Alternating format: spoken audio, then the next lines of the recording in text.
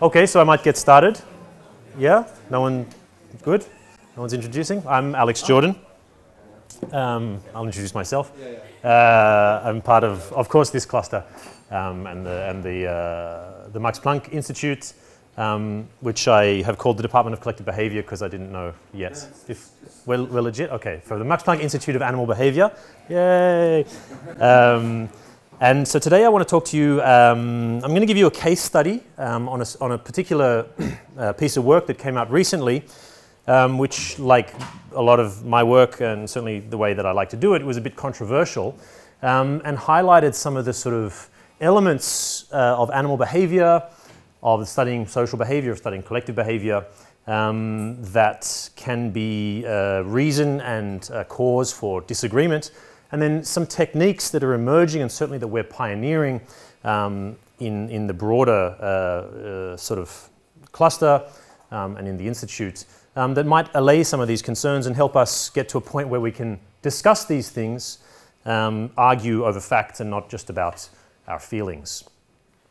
Um, and so this comes as, as uh, a study in the context of broader questions that we have in, in our lab about the evolution of behavior, about the evolution of social behavior, um, and, and this interaction between cognition um, and, uh, and what it may require to be part of a broader social unit. Um, and so we've studied things like transitive inference, social memory, social recognition. Um, but the study that I'm going to talk to you about today is this one about the potential, at least, for self recognition um, in fishes. And this came about because uh, for a long time I've been studying cichlid fishes, this particular group of uh, animals, um, which are very complex socially, um, but also display a great many advanced and complex uh, cognitive skills. And so there's this question centered around the social brain hypothesis um, that being in a social group requires the evolution of specific or, or particular uh, cognitive um, and, and social abilities. And so in that context, we had done a lot of studies like these. Um, uh, we were interested, this is, this is way back in my first postdoc, to see just how far um, we, could, we could see this, this signature of cognition and uh, social evolution. And so we were trying to find the sort of pinnacle of cognitive abilities in animals. How, how, how advanced a, a task could uh, these social fishes perform? And it brought us uh, to um, what some people think is a sort of gold standard or the upper echelon of cognitive testing, which is the mirror test or the mark test or the Gallup test. Um, and this is a test relatively simple and elegant in its design where an animal is uh, furnished with a mirror in its enclosure, or if it's a human, a mirror in a, in a room. Um, or if it's a child in the enclosure, hopefully, um, and then given a mark somewhere on the body that can't be seen except with the aid of the mirror. And if the animal, or human, or animals are humans, attempts to interact with itself rather than with the reflection, this is an indication that the animal understands what the mirror is doing, that it's reflecting self. And in the original uh, architecture of the test by its inventor, this was taken as evidence of self consciousness, of theory of mind. It was taken as evidence that the animal understands that it exists and that this reflection represents itself and therefore that it is self conscious. This is the interpretation of the test, or was the interpretation of the test, certainly when it was designed. And over time, uh, it's been employed and, and, demonstrated in other animals. Here is a uh, not a complete, but a selection of some of the uh, animals uh, that it has been demonstrated in. So in chimps in the, in the, in the early 70s and in human infants as well. Um, obviously, I'm jumping many decades here. Um, but then we get to things like dolphins. Um, one of two animals tested in 2001 was, was uh, accepted as passing the test. Monkeys, Asian elephant, one of three. The elephant's name was Happy. Um, and the Eurasian magpie, two of five. Um, if you can tell I'm being a bit facetious here, it's because these sample sizes are typically very, very low um, and often the test is relatively poorly performed. Um, and yet, in many of these animals, that's still taken as good evidence that they are self aware and self conscious. This is not particularly um, controversial, these kind of statements. Um, but also what you might see is that as time has gone on, especially with the inclusion of um, some uh, birds, the suitability for the test kind of decreases because this test requires the animal performs a task that we interpret as self-directed, as attempting to remove the mark. Now, in a primate, that's relatively easy for us to make that extension. It's exactly the same kinematic structure of behavior that we ourselves would perform. In fact, it's identical. With uh, something like an elephant, it's also pretty easy to understand. The trunk comes up and interacts with the face. This is sort of equivalent to what we would do.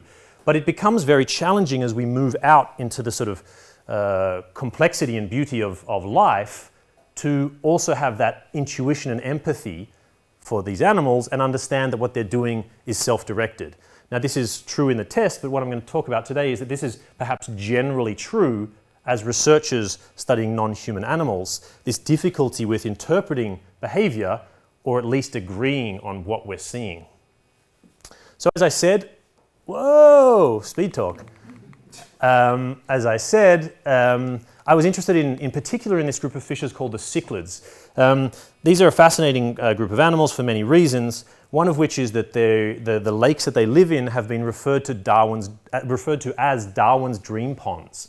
Because the idea is, or the suggestion is that if Darwin had known about these things, this, these cases of repeated evolution from very few uh, progenitor species, it, this would have been his sort of dream system. Because what we have in these lakes is uh, this, this massive adaptive radiation of different morphologies, different uh, life histories. But in my case in particular, what's interesting is these different social systems. So we have these group of fish that are pretty much identical across many aspects of their ecology. They eat the same things, the same things eat them. They live next to each other in mosaic communities at the same depths, in the same locations.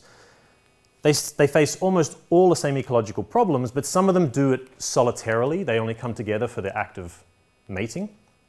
And some of them live in these permanent social groups. Now, you, you notice as well that I've put these terms in inverted commas because this is in fact something we're very interested in studying. Not putting labels on social systems, but actually un understanding the complexity of these differences. Nevertheless, I was interested at that point in understanding whether, for instance, this social animal was better at all these cognitive tasks, including the mirror test, than these non-social animals, because that would be evidence, perhaps, that sociality has driven differences in cognitive uh, abilities and behaviors. These guys failed the test. They did not do anything that gave us uh, a, belief that they were attempting to remove the mark. This study, that demonstrating that cichlids cannot pass the mark test, sailed through review. No problems. Everyone was happy with that.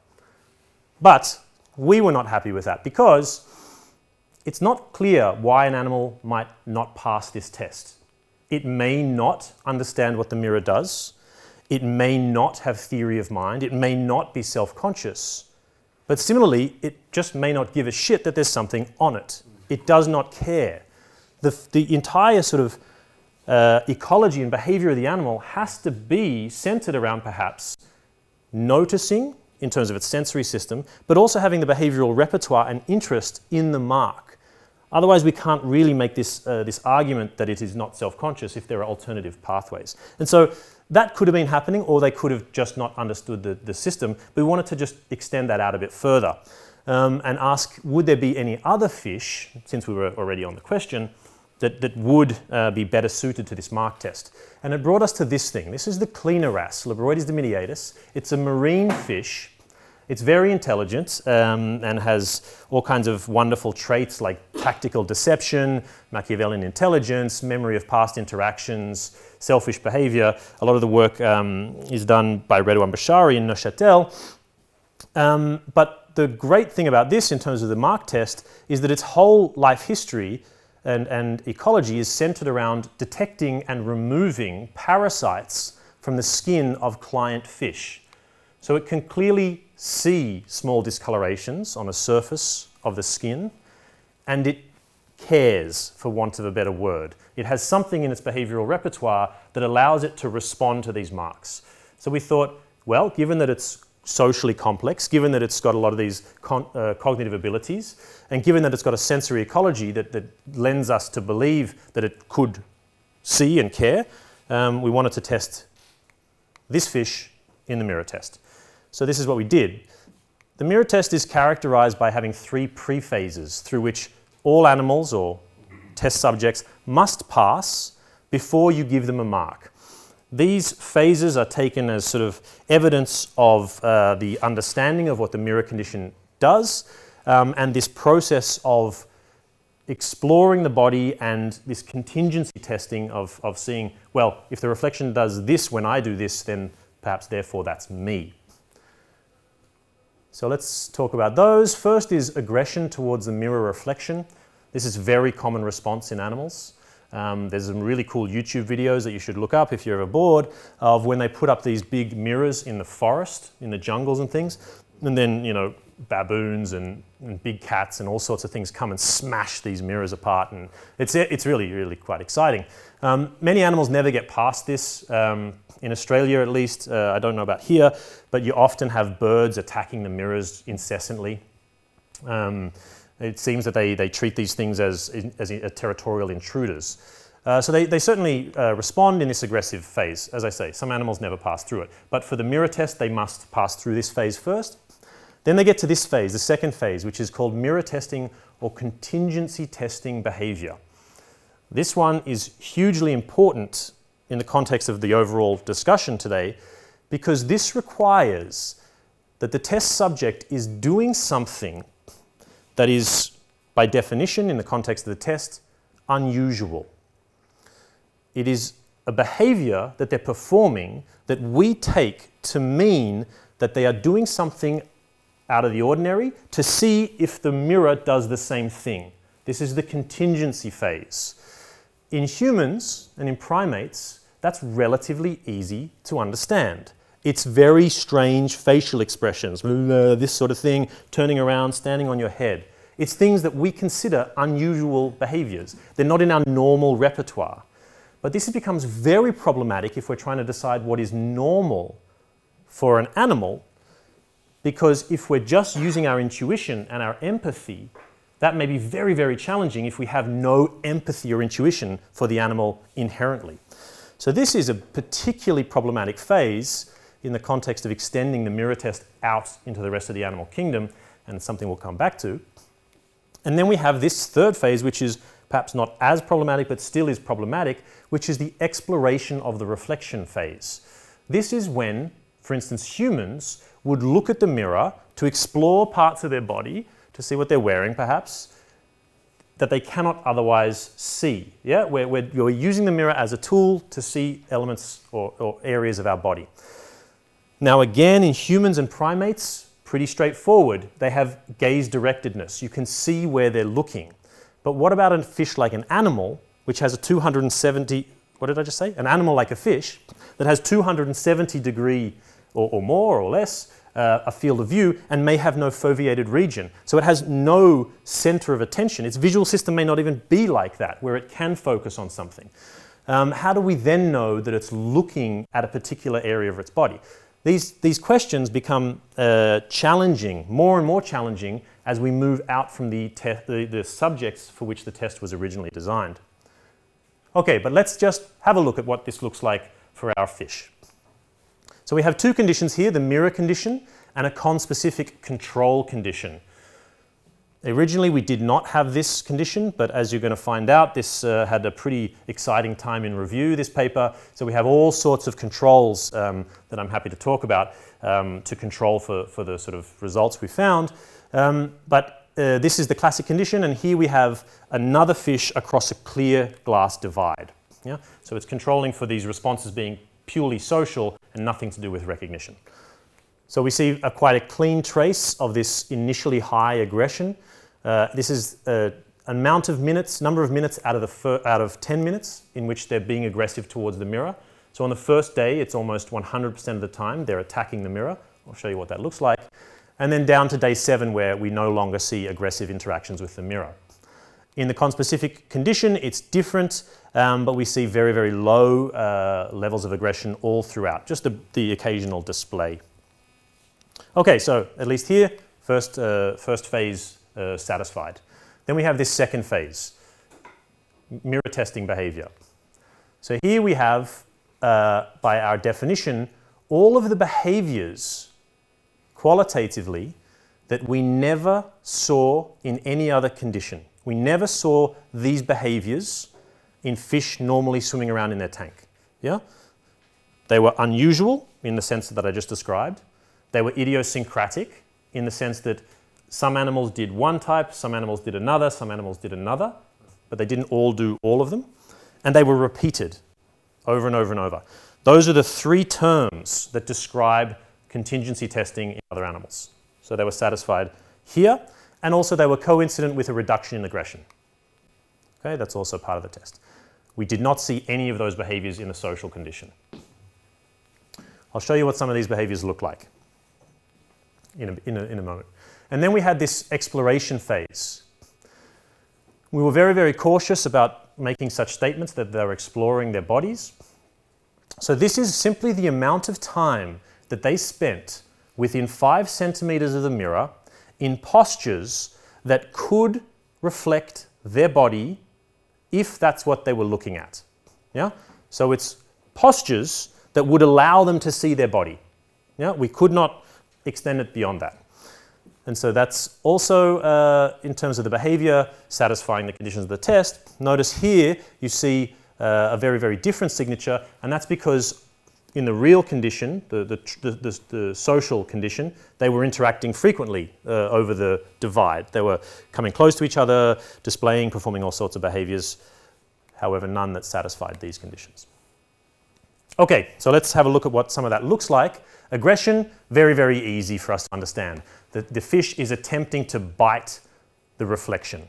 And this goes on, um, as I said, for about, for about a week. Then we have things uh, in this contingency testing phase.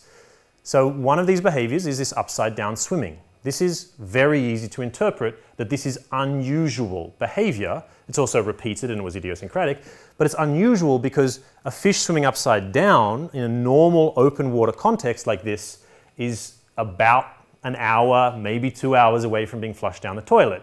This is not within the normal behavioral repertoire of this animal in this kind of condition. And when I showed these videos to some domain experts, for instance, Redouan, he said that in, in, his 20 years of studying these fish in the, in the wild, he's never seen um, a fish swim upside down like this. So there we can be pretty satisfied.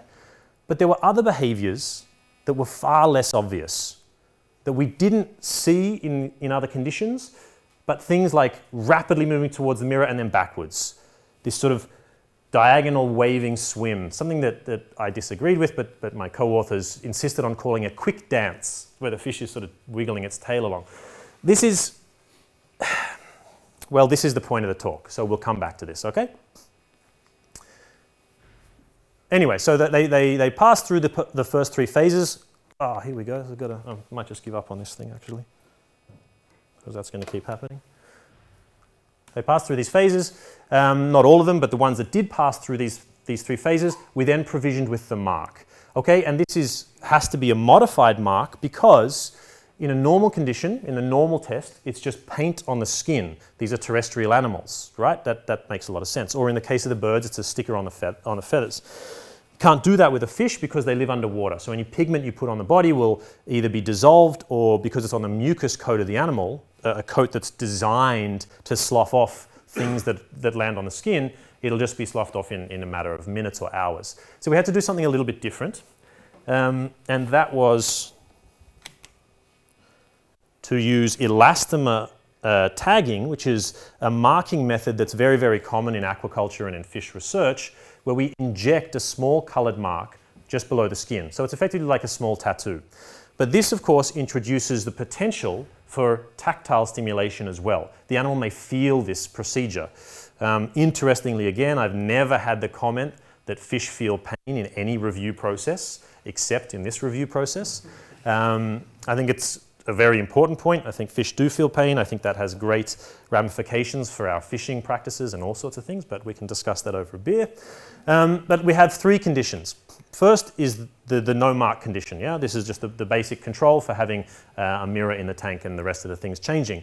We have a sham mark phase where they are injected with the vehicle, the polymer vehicle, but no pigment, so it's transparent. So if there was some tactile stimulation or irritant that was causing a change in behavior, you would see it here. And then we have the colored mark, um, which is, of course, the same vehicle, but now with the pigment. Uh, and we injected in, in three places, below the throat and on either side of uh, the head.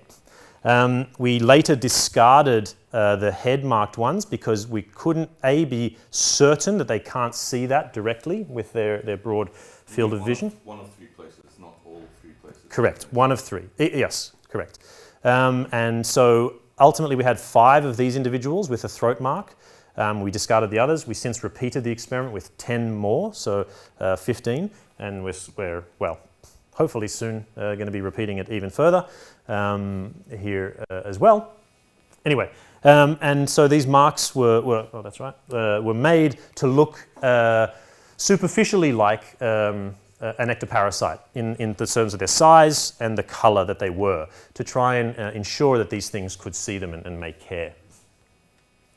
Okay, so then the first thing we want to do um, is just check for any unintended um, uh, effect of the marking process. And so here we're showing uh, all of the posturing behavior um, that reflects effectively the unmarked location. So if this procedure just made the animals care more about the mirror, there was something going on um, that they just spent more time associating with the mirror, we would see uh, it here. Now just to be clear, we have E2, that's the control I told you about. E1 is the prephases. We have E2, which is the control, E3, which is the transparent sham. E4 is not shown. E4 is colored uh, mark, but no mirror. So because this is interactions with the mirror, we obviously don't have any data for E4. And E5, which is the, the mark test, the, the mirror and the, and the mark. Yeah?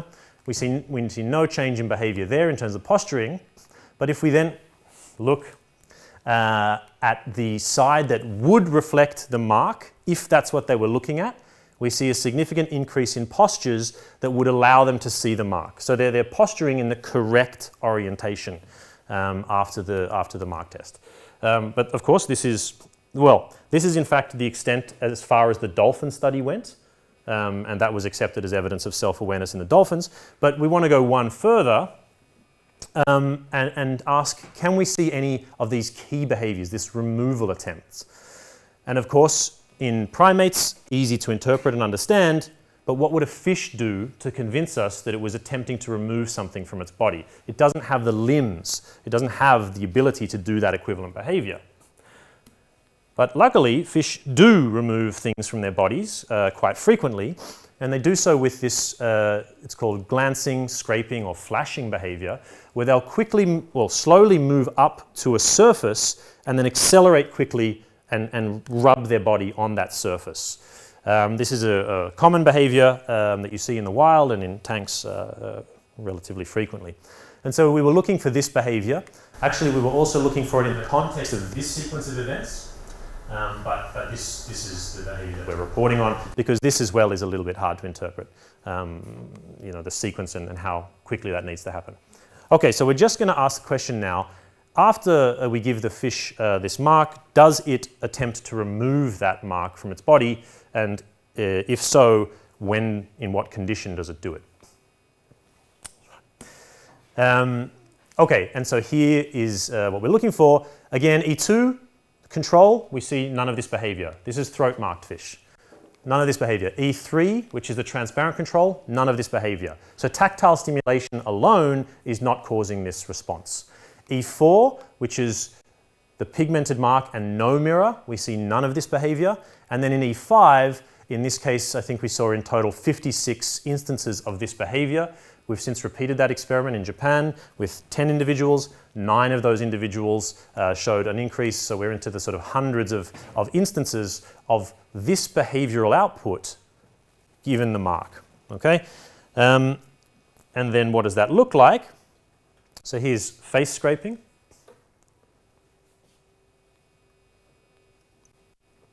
just the ever so briefest contact with the substrate. In this case, they're doing it on the coral. And here's the throat there. Um, so it's subtle, I agree, um, but what we're looking for is physical contact with a substrate. All right, so we have behavioral outputs that suggest to us that the fish is passing through all the phases of the test in some respect. Then to this question, are fish self-aware? I'm happy to talk about that after or at another time. I don't want to spend too much time on that because the main point that I want to make here is that it is very, very difficult to interpret the behavior of this fish in the context of this test if we're asking a question about self-consciousness in the same way that we're asking that question for other animals, for humans and primates.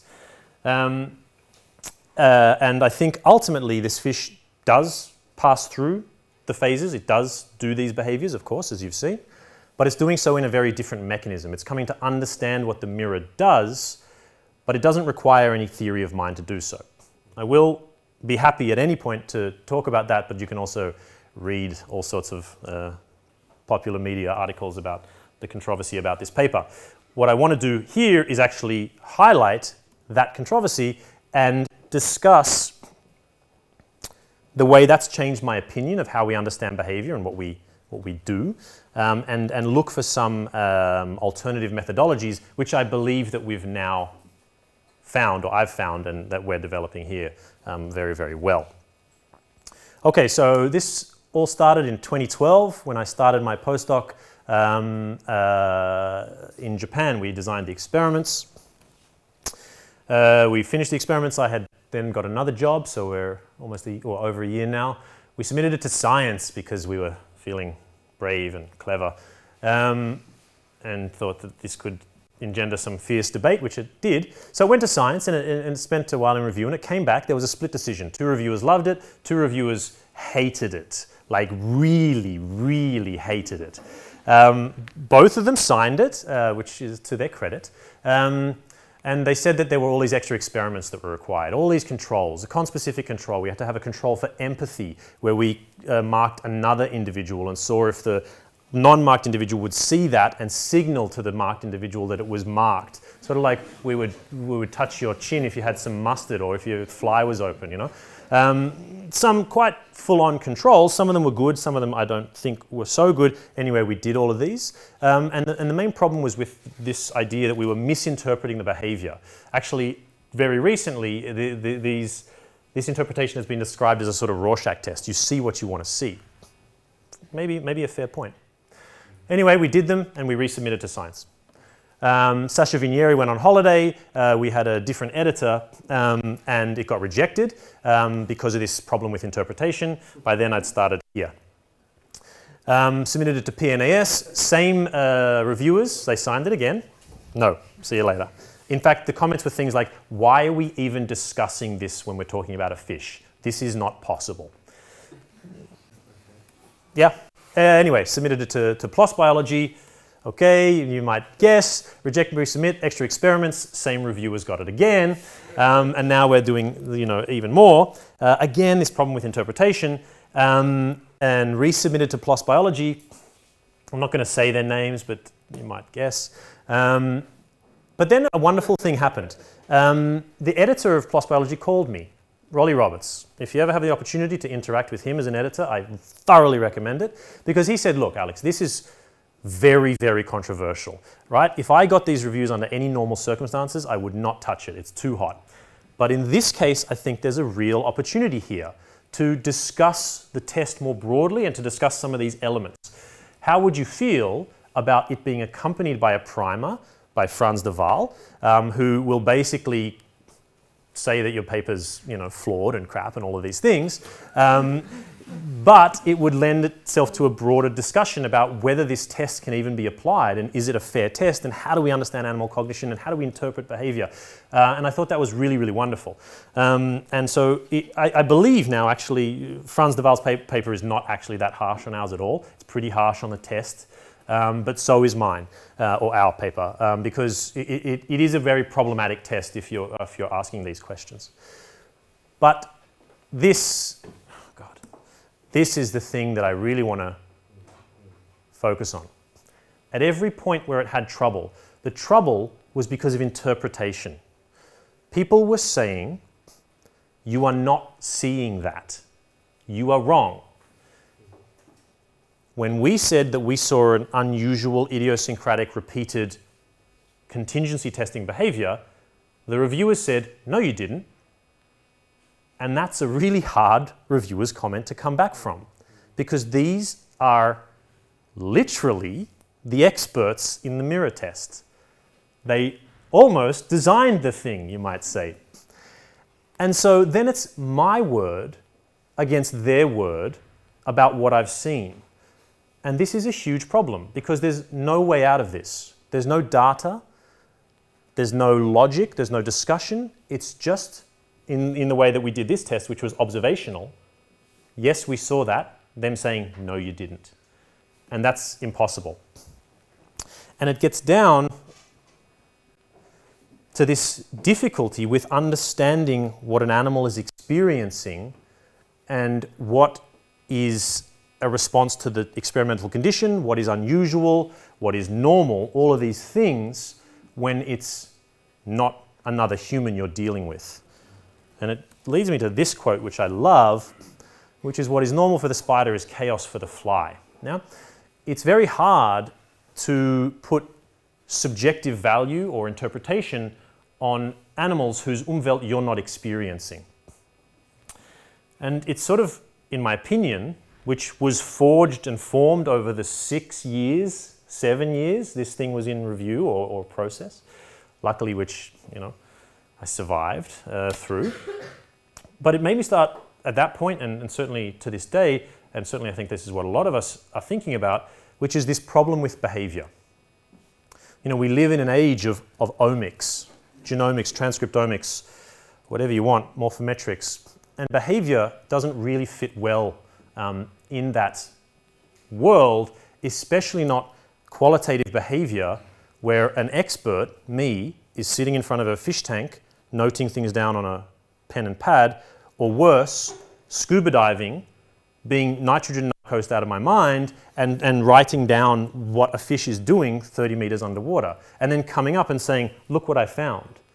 That's totally vulnerable to anyone saying, no, it isn't. You did not see that. It was the Lariam, it was the nitrogen, it was the depth, it was the fatigue, whatever. And that's a really problematic position because it prevents discussion, debate, it prevents useful and, and generative um, processes, in my opinion, in behavior. Um, okay, so, so yeah, as I said, unlike morphometrics, it can be very difficult to put numbers on behavior. It can therefore be tough, as I've experienced, to convince people of the objectivity of the data that you're presenting. And you know what? The worst part is I don't disagree with them. Yeah? It is very hard in that mirror test to be objective. So I think they're actually wrong to say that the fish didn't do these things, but they're right to question why uh, we believe that, but I'll come back to how we're assessing and addressing that. Um, and in the age of big data, open source, and in particular the reproducibility crisis or repeatability crisis, as I've incorrectly written here, um, behavior is, is perhaps an uneasy fit in that qualitative way. So for the final part of the talk, I want to ask this question, can computational approaches to behavior help address some of these questions, uh, specifically in the case of this mirror test, uh, but also more generally in the case of, of our understanding of the evolution and, and, uh, and rules of interaction in social behavior and collective behavior.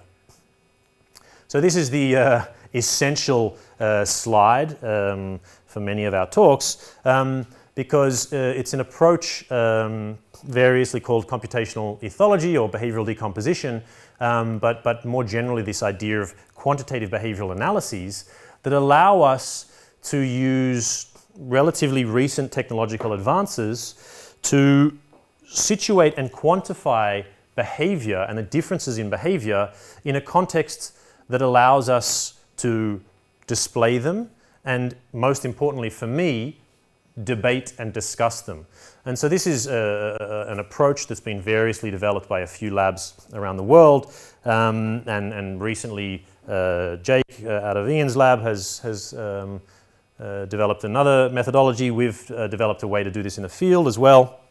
Um, so a lot of people are now using uh, these kind of approaches, and the beauty is you take some kind of input, whether that's some visual uh, information about a, a, scene that you're video recording or some other data stream, and then you can break down uh, the elements, in this case of the behavior that the animal is performing, into these categories, which can be more or less uh, structured or defined, that this thresholding can be changed so you get fewer or more categories. And then at the final stage, you can describe what you think those categories are or group them in some nomenclature that perhaps you agree on, but perhaps more importantly, maybe you disagree on. So someone can come along and say, okay, this is idle and slow movements. Okay, maybe, well, when it goes up here, maybe you'll see what that is. But someone else can say, no, it's not, because look, look, look, something, something, something. Point is, it's the beginning of a discussion about the behavior. It's not the end point that you submit and then agree or disagree on. So then, with that in mind, let's move back to these, uh, these cichlids in this case and this question of the evolution of social and collective behavior. Because if, like, like me and, and, and my lab, you're interested in how social and collective behavior evolves, in what evolves, in what changes, it's crucial that you can define what is different amongst systems. So if I tell you that there's, we have this solitary animal and we have this social animal and social evolution has driven behavioral change, it's essential that we can point to a place that describes that behavioral change. What has actually evolved? Um, and so these kind of approaches allow us to put numbers on those differences uh, and have these uh, discussions and debates uh, about what has evolved. So I'm just going to take you through the work that we're doing now, and we'll follow up on with the mirror test, to address this question of in this transition from a solitary to a social life history, what actually changes, what evolves, and how can these methodologies uh, help us answer that question? So the first thing that might happen uh, is that behavior itself evolves. Yeah?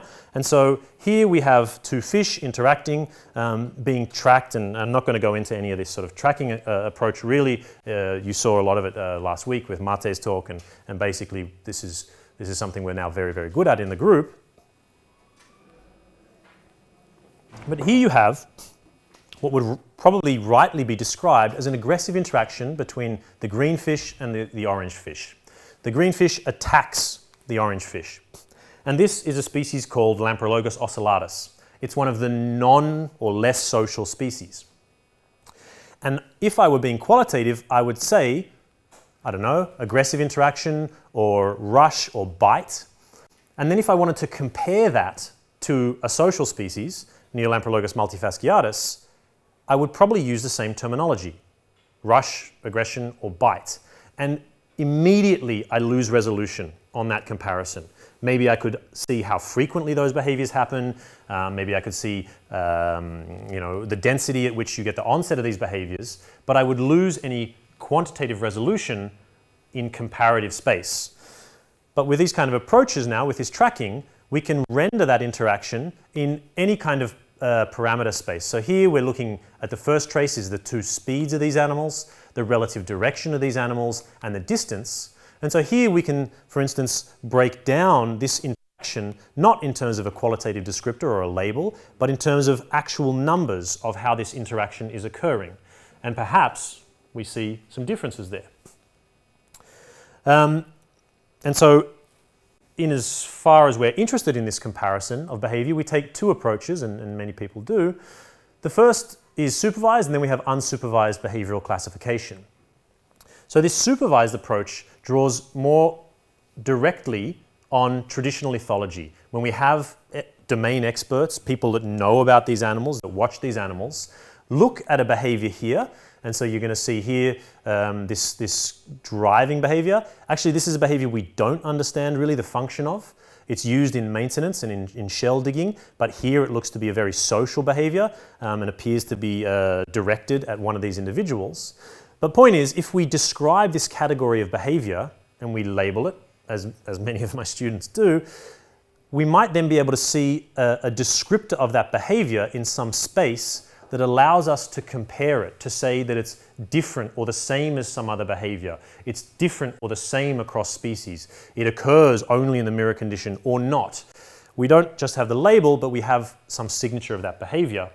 And so uh, Hui, who's in the audience somewhere, is currently doing this where he's, along with many other people in the lab, describing all of the different behaviors in traditional ethological approaches amongst these species, and then asking out of some incredibly uh, rich um, parameter space which ones of those parameters are describing the different behaviors we see. And so then, for instance, if we have aggressive behavior in non-social animal versus aggressive behavior in social animal, we will see whether there's a different uh, structure of those two aggressive interactions, even though we might be describing them as the same thing, whether for convenience or because we actually don't see a difference. So in this case, we get uh, a much greater resolution on, on understanding uh, this, this, uh, the source of this variation or this evolution in behavioral space throughout this spectrum.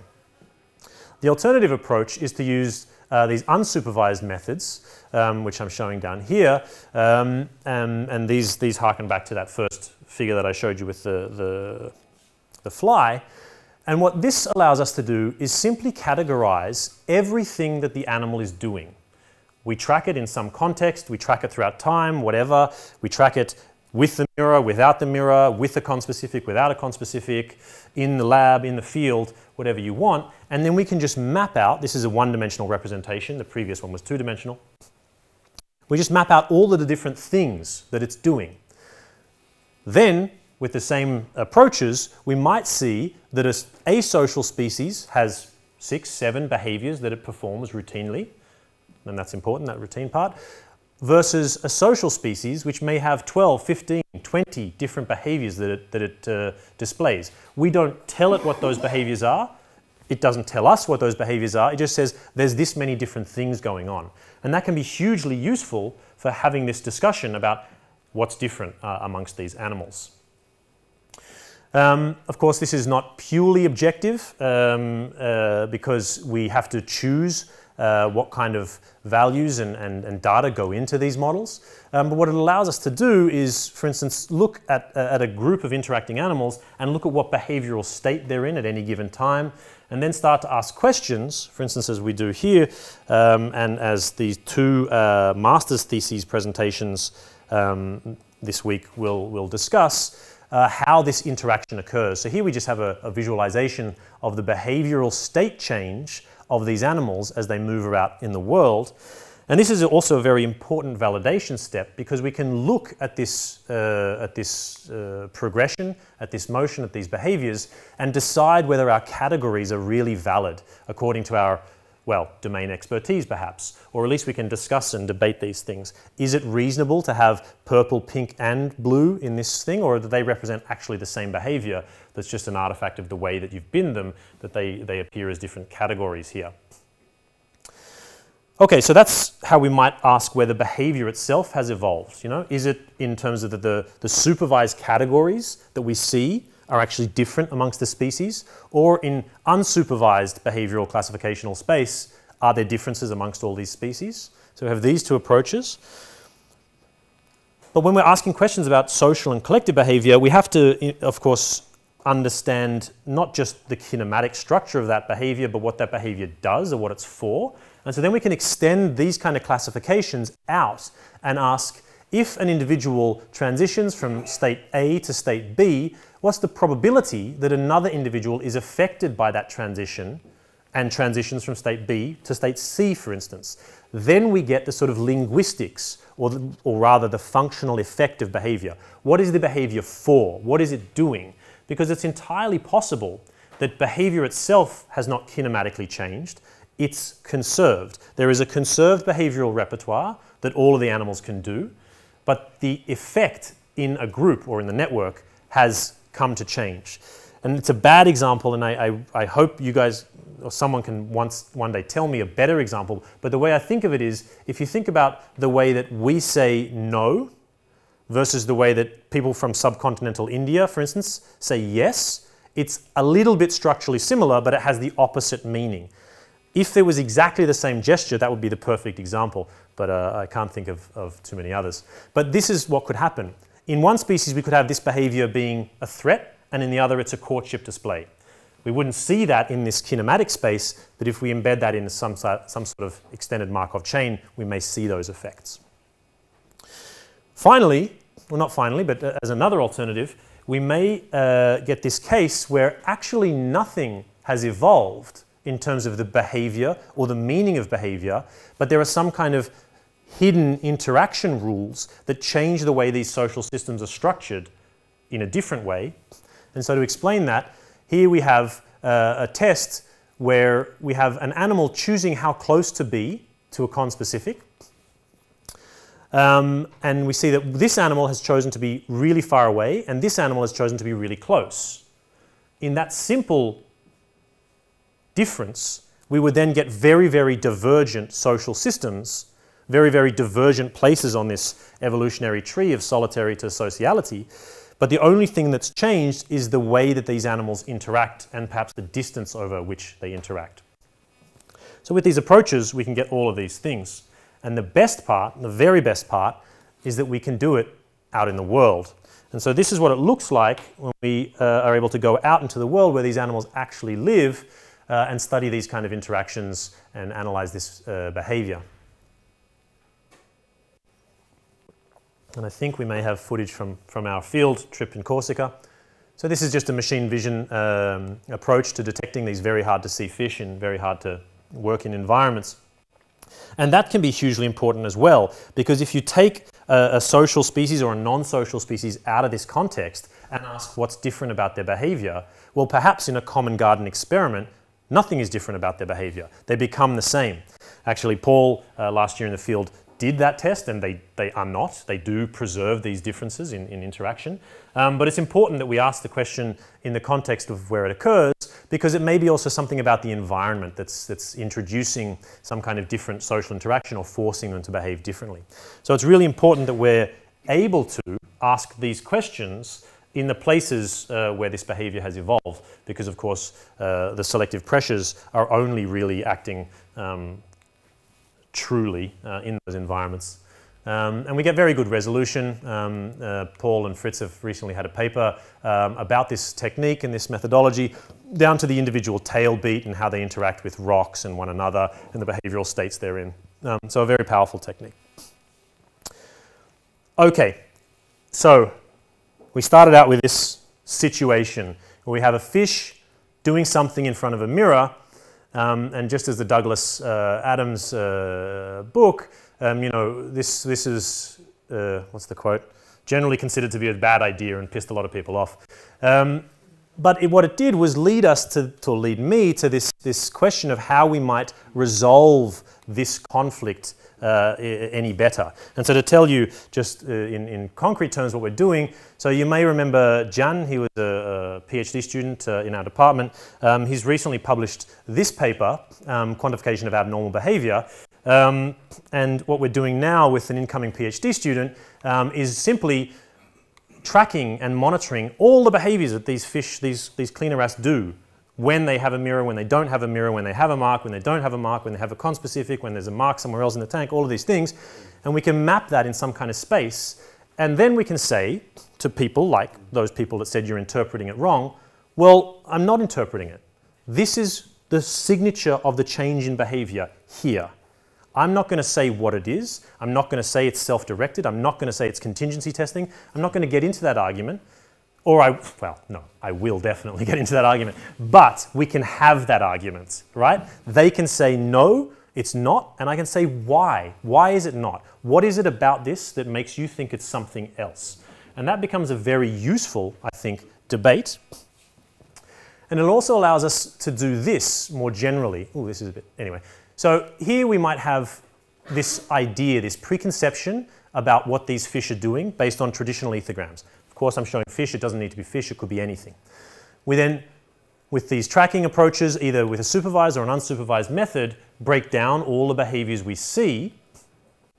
And then we can compare those behaviors, either as, as has been done before, amongst the different species, as I mentioned, but perhaps more importantly, and this is the thing I'm really excited about, and I'm still trying to politically arrange this, we get different labs to score the exact same behavioral sequence and see where they, where their categories fit on this space, how well they align with some kind of objective methodology, and how well they align with one another. Because then, if there's debate and discussion, we can see where. Where is the problem? What are we disagreeing about? What has sort of in your worldview, what, does, what constitutes an aggressive interaction versus this one's worldview versus this one's worldview? Um, and, and sort of as a, as a microcosm of that, this is a sample of the ethogram of, you don't need to see what it says, of, of the fish that we work with. One of the labs in the world has an ethogram of 35 behaviors. One of the labs in the world has an ethogram of 19 behaviors. Our current ethogram, Etty, any guesses? Yeah, around 15. Around 15. So we have a, a, serious problem because these are the labs that are reviewing our work and with whom we're trying to have a discussion about the evolution of behavior. And if we can't even agree on what we're seeing, we have a massive, massive barrier. And so, as I say, hopefully I do convince everyone, I've convinced a few already, that, that we do this project together. But it could be problematic because it would perhaps invalidate at least the comparative power of 40 or 50 years of research. Anyway, I'm going to leave it there and, uh, and, and just say that I think we're at a wonderful uh, junction in, in the, the field of behavior where we can start to incorporate these incredible technologies and these approaches to not just do what we were doing better, but actually to sort of revolutionize and, and change the fundamental way that we talk about and compare and disagree and argue and peer review and all of these other things reject each other's work. Thank you.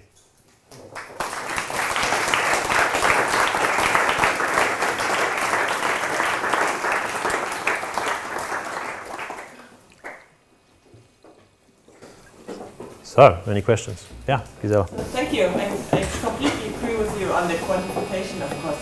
I'm just wondering, how do you deal with it when you have the same behavior that has different functions depending on the context? So how can you capture that in, the context? Um, yeah, that's going to be Paul's PhD. Um, I, I, think you're you're really correct. Like, um, I didn't show because I don't want to spoil their uh, master's thesis presentations too badly.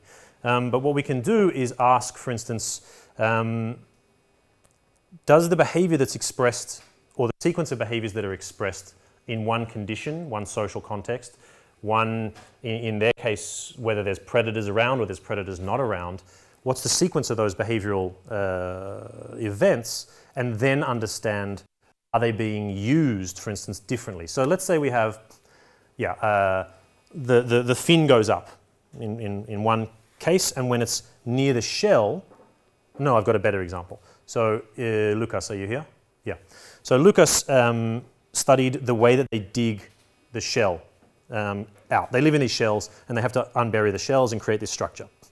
And kinematically, what many of the behaviors that they're doing there are for are to dig out the shell. Yeah, they are simply a maintenance behavior um, that is required. But in another context, they are social signals or they're threats almost. I mean, I, I, don't have numbers on that, but many of the other labs would argue that many of these sort of um, entering the shell behaviors are threats to do maintenance in a territory. Now, you may have an intuitive sense that that's, that's correct and true, and, and it may well be correct and true, but with these kind of approaches, we could, for instance, say that when it's interacting with this individual, there's a 60% chance that it does this behavior, and there's a 30% chance that then that individual changes state into a cleaning state. And therefore, you have a better inference that in that context, between those individuals, the behavior is for a threat. So I think that's, that's the real power there. I would just like to sort of emphasize how important, I totally agree with you, how important this is. I mean, some of you may have seen the scandal with Mark Hauser, one of the most prolific, yeah. famous, uh, well-respected biologists in the world. Yep. And this all came down to interpretation of whether a monkey was looking one way or another. Right. Right? And him disagreeing with people in his lab, and it turned out that he was probably, almost certainly, being fraudulent for decades. Yeah. Um, and you know, just simply being able to track the head movements of the monkeys would have resolved all of this, and you could put that out, th those data with your paper, and then it's out, it's out there. If someone comes up with a new interpretation or quantitative interpretation, that's fine. Yeah. Yeah, I mean, even in our own group, um, we have these discussions all the time. We look He at a, a video. job when he was fired Yeah, yeah, yeah. Um, and, and so, like Etienne and I, and Anish, and, and who else? Who we, you know, Jakob, we don't agree on these behaviors, right? We, and and, and uh, maybe a generation ago, or if I was Mark Hauser, I would say, You're wrong. I'm right. I'm the expert. But, but now we don't need to do that. We can say, Well, what do you disagree on? Like, where, where is the difference? Um, I really like that. But so yeah, I agree about that. But then the, we still have the problem of the interpretation, especially if behavior is abnormal and it's at the end of the tail of the distribution. Then quantifying whether this is appearing more or less it's hard. And also, I don't know. So you haven't answered whether they do have empathy, whether if a, na- a mate has a mark, whether that would bother them, Yeah. and whether they would copy um, abnormal behavior. So that if it does by chance do some sort of something that is not so uh, frequent, then whether it will see itself doing it, whether that will amplify, so whether. So I think the still the interpretation will still be hard To- yeah. in track the states. Yeah. Um, I, no, fully, fully, fully agree. Uh, that, that you can never escape interpretation and you can never escape description as a communicative necessity. So we do need to eventually put labels on these things um, and, and try to fit them into some kind of broader understanding of the evolutionary process, for instance, or whatever it happens to be. Um, but that step comes last and it can be changed. So, yeah, and so you know what I compare it to is the way I did this 2016 study. I was in the field for three months, diving each day, watching what fish were doing, writing it down, and I got uh, a, a, a network that was compared across five time points. That took all that time, and if somebody said to me, "Ah, you know, th- you, this edge wasn't there," yeah, all right, like, what the fuck? I can't do anything about that. Or, or that I, I, I, all of, as, you know, a good friend of mine, Michael, has said, you know, you're not seeing the detail that's there and therefore you're misinterpreting the whole system. There's no way out of that. Um, but with this, even if I did misinterpret it, even if my labels were wrong, even if I was saying it's unusual and it's not unusual, you're thresholding binned it as unusual here, but it uh, otherwise sh- shouldn't have been. Um, you, you can discuss that and, and really revisit it. And I think that's the power. Uh, Yeah, so I'm, I'm really on with you, of course, with the quantitative data, but I think that must be ways that, you know, this person can convince. If, if not, then, you know, that's a really big problem.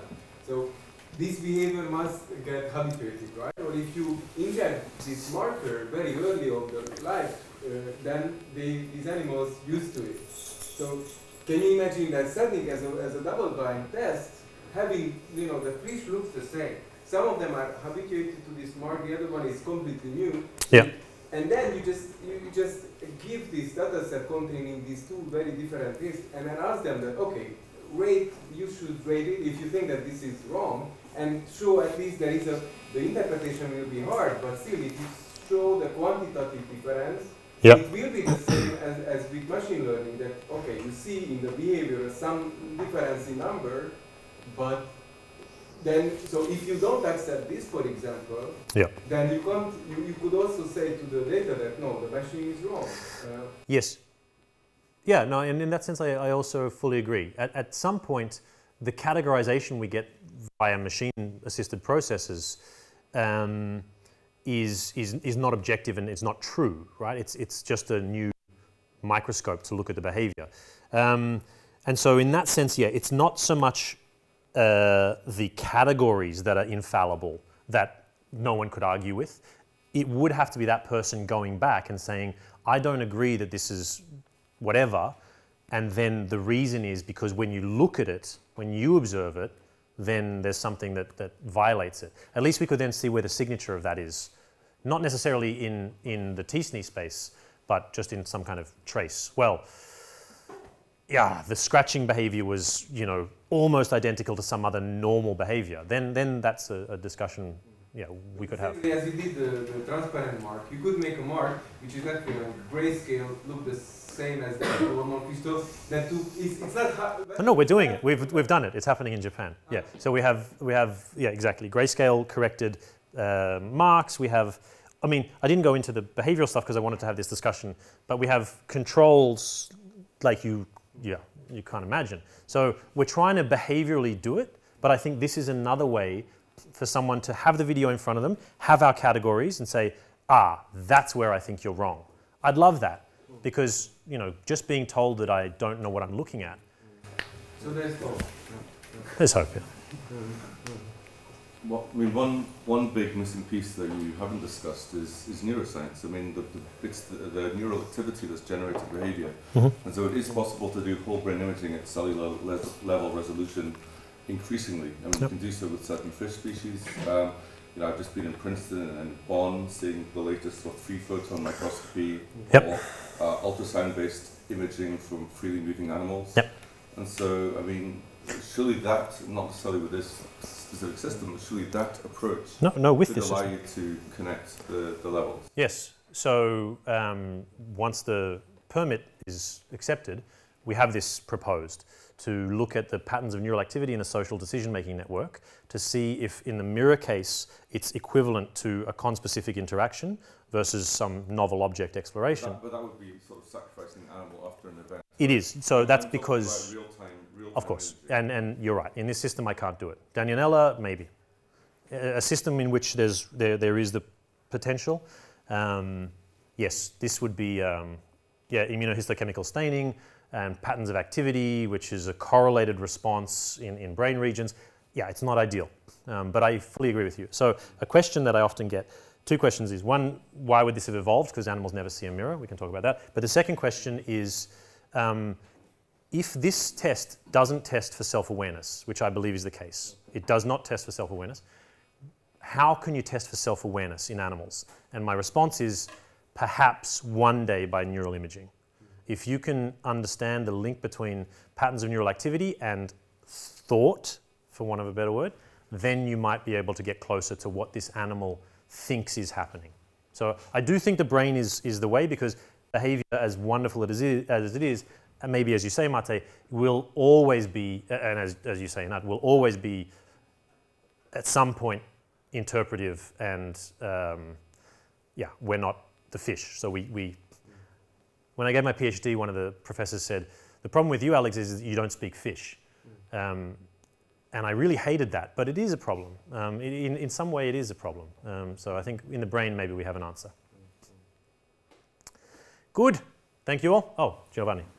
No, sorry. Another question. I mean, biology in, in many areas is totally limited by technology. Uh, and the sort of old style animal behavior was more limited by concepts. You were arguing about interpretation. And now you're moving the, the um, behavioral analysis into a field that is again limited by technology. Because you can only quantify what you can sort of quantify by Right. your automatic uh, things. In the end, I think we have to put these two together. Right. And, and there is always a something that you don't see. If you if you image the brain with all the neurons, if you go into neuroscience, there are some limitations about what you see. Do you see the spikes? Do you want to say, see the second messengers? Do you want to see the calcium? So you're always limited by why, what you can measure. Or say in, in you look at fish and maybe the movement of a particular fin Right. is important, Mhm. or the movement of eyes if they can move the eyes is Mhm. important Mhm. but your view of, of your images cannot capture that. Then you have to then go into the next step and create new images that will allow you to quantify that. So we always have to, to, to combine the, the approaches that are conceptual approaches to the, the technology and, and but yes, you're moving the field into a limitation by by techniques. I agree, um, and that's the reason that even the most computationally uh, competent people in my group are also in Africa for three months of the year, so that they can be underwater, so that they can hopefully in, in themselves combine uh, the intuitive understanding of being an animal behaviorist, of being somebody that's with the system and maybe gets a sense of, yeah, the camera can pick up the, the, the, the shape of the body, maybe the fins, maybe not, but there was something else going on. I just saw this flash in the eye or I saw something, and that can be a hypothesis generating tool that doesn't lead us down this same conceptual uh, limitation. So I, I fully agree. If we blindly trusted that our tracking approaches capture the entire system and that the whole system is described in the data streams, that's foolish. There is a place for, for traditional ethology and for, for field biology and for having a sense of the animal and, and, and the unknown elements of the system so that we can think about ways that we could know more or, or move that intuition into, into a data stream. But I totally agree with you. This, this technological approach is not um, the absolute solution. It's a new microscope, it's a new tool. Um, as Mate was saying, you know, the barn is, is effectively just a, a giant microscope. Um, yeah, but the two things cannot live without one another. But it's also not true, you know, I think Jake, maybe you said, uh, you don't like the term computational ethology because except for maybe Nick Davies, who goes out and, and, watches birds with a notepad and pen, everybody uses a calculator or something. There's always some com computational um, I'm sure Nick also uses a calculator. Um, but, uh, you know, um, but I do think this is a different sort of level of, of that uh, involvement. Okay, let's get lunch, eh? Thanks.